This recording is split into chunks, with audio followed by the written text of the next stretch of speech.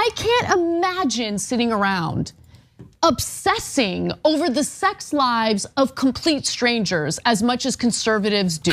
Yep.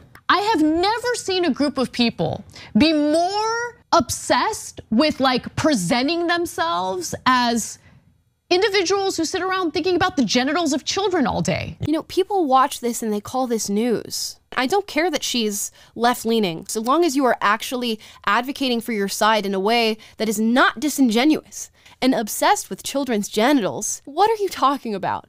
Are you saying that conservatives are are worried that children might undergo surgery that does mutilate their bodies? If you said that, yeah, you would be saying something that's actually real, actually factual, and actually based in reality. But to twist it and say they're obsessed with children's genitals, like, come on now. At least try a little bit.